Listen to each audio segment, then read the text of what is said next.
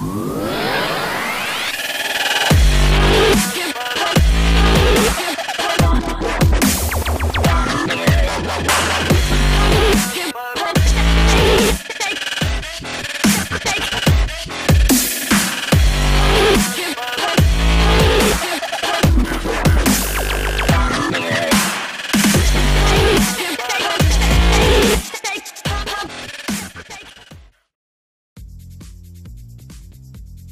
Mercedes-Benz to finally flap the E-Class all-terrain gauntlet in the face of the Audi A6 Allroad, the latter itself unchallenged in the tallest 8 in plastic petticoat stakes until Volvo more recently recognized the SUV challenging potential of the genre with its V90 Cross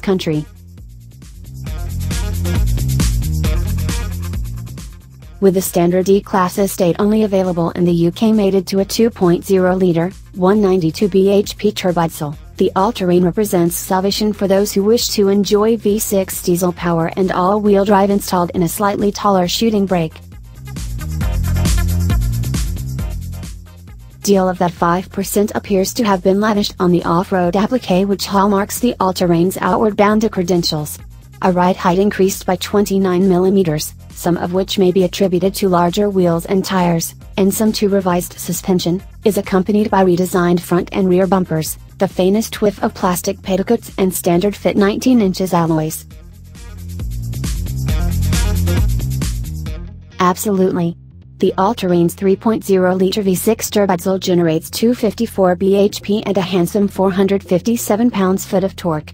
This is distributed to all four wheels via a 9-speed automatic transmission the differential mounted adjacent to the gearbox rather than expensively integrated distributing power between front and rear axles with a 31:69 split.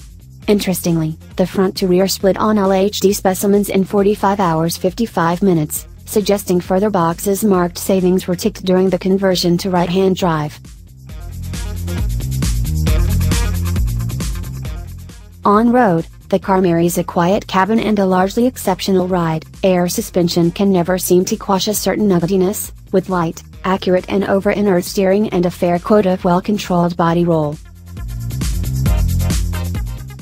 High-speed cruising is the all-terrain's true métier, then, and its capacity to deliver unflustered pace suggests it'll dismiss entire continents with effortless insouciance.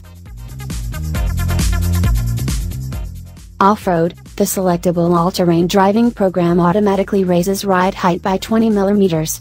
The highest suspension setting gives a total ground clearance of 156 mm, which proves enough for the car to acquit itself with considerable aplomb on rocky forest tracks that would, at best, seriously tenderize the underside of conventional cars. Its allocated ground clearance and approach, departure and breakover angles somewhat shackle its abilities as a genuine off-road adventurer, but on rutted tracks, snow and wet gymkhana grass, it's no more likely to let you down than any all-wheel drive SUV.